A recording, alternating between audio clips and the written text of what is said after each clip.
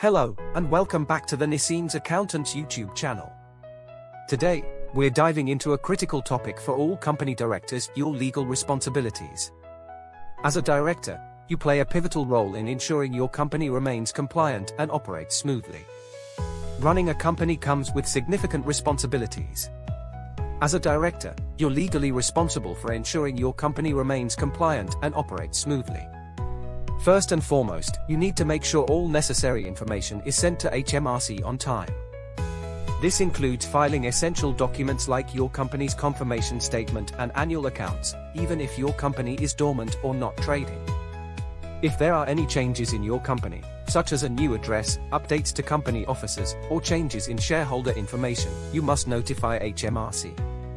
It's your responsibility to ensure the details they hold, especially about your company's people with significant control, are correct. Beyond reporting to HMRC, you must also fulfill other duties as a director. This includes following your company's constitution, promoting its success, and avoiding conflicts of interest. With new and upcoming changes to UK company law, staying informed is crucial to keeping your company compliant.